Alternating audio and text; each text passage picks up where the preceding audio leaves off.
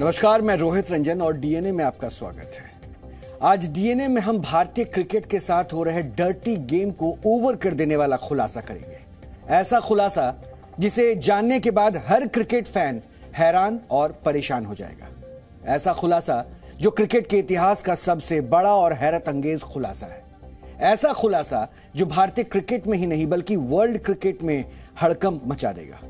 क्योंकि इस खुलासे को करने वाला एक ऐसा शख्स है जिसकी इच्छा के विरुद्ध भारतीय क्रिकेट टीम में कोई खिलाड़ी ना एंट्री कर सकता है और ना ही एग्जिट जिनका नाम है चेतन शर्मा। यानी दुनिया के सबसे अमीर क्रिकेट बोर्ड, यानी बीसीसीआई की चयन समिति के चेयरमैन जो किसी खिलाड़ी का करियर बना भी सकते हैं और बिगाड़ भी सकते हैं।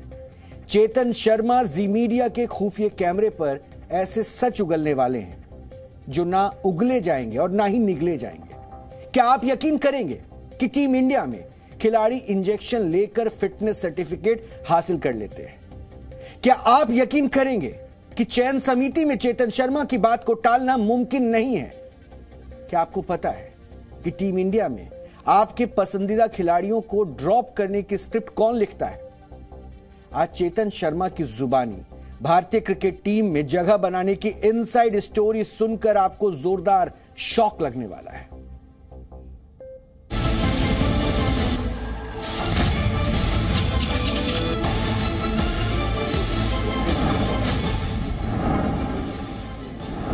लगता है वो बहुत सक्सेसफुल है उसने कुछ बोला उसने कहा ये झूठ बोल रहा है ऐसी बात तो मुझे कभी नहीं बोली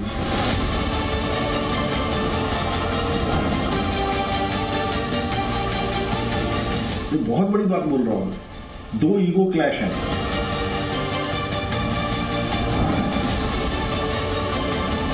ये तो बदमाश ऐसे हैं ये तो चुपचाप जाके कोने में जाके इंजेक्शन लेके देंगे सबके टाइम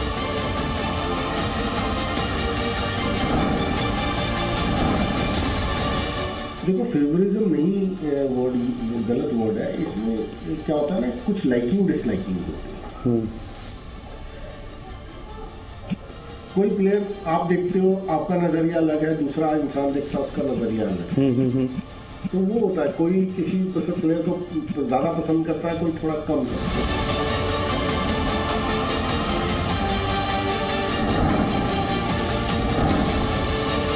दो साल में कभी एक बार भी वोटिंग नहीं। नॉट ए सिंगल टाइम मैंने वोट ही नहीं होने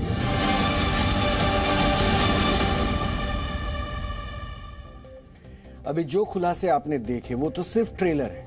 पूरी पिक्चर अभी बाकी है। हमारे खुलासा क्रिकेट के हर फ़ैन को हैरान कर देगा।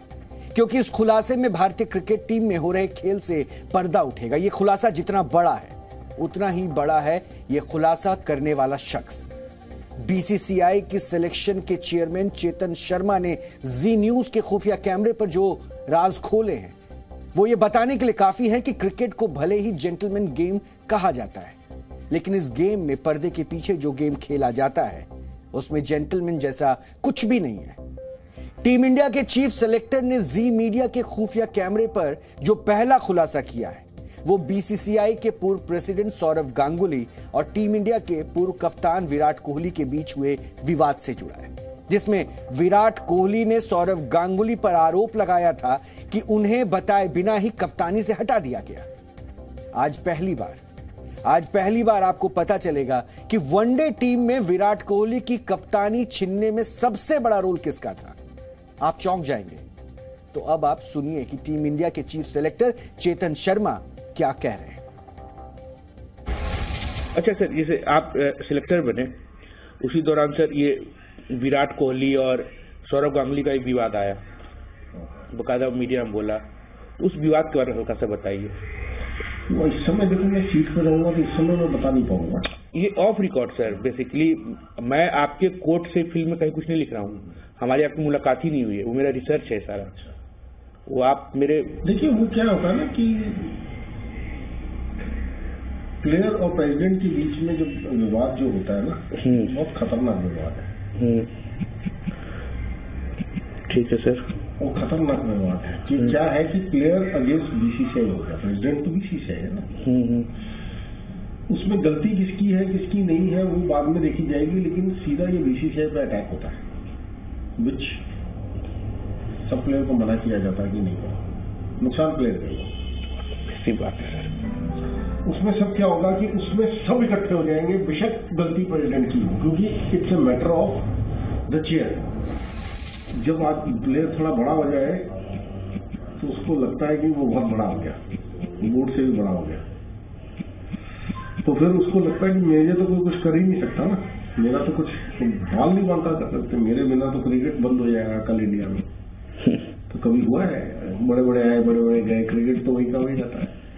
तो वो उसने उस समय हिट मारने की कोशिश की प्रेसिडेंट को कि मुझको तो कभी सौरभ गांगुली ने ये बात बोली नहीं थी। तो ये बहुत बड़ी इशू हो गया या तो प्रेसिडेंट झूठ बोल रहा है ये विराट सच बोल रहा है। बहुत बड़ा इशू हो गया था। ये तो हंगामा हो गया था। ईगो का व्यवहार है।